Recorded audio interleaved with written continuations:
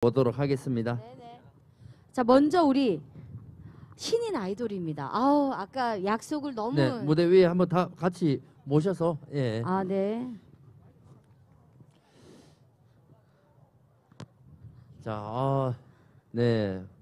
이 본식에 앞서서 네네. 어, 방송에는 이제 나갔는지 모르겠지만 네. 식전에 이렇게 또 무대를 멋지게 빛내주신 분들이시거든요. 네네. 네. 아, 아유, 앞으로 반갑습니다. 조금 나오셔도 돼요. 네.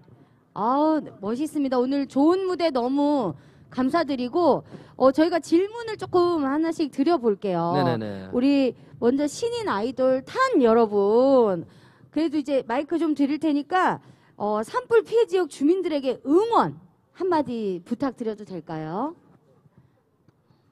네, 오늘 이렇게 뜻깊은 행사에 참여하면서 이렇게 산불 피해를 입으신 이제 주민분들한테 조금이라도 위로가 될 수 있고 또 힘이 될 수 있었다면 저희는 오늘 여기에 온 이유가 이제 다 하지 않았을까.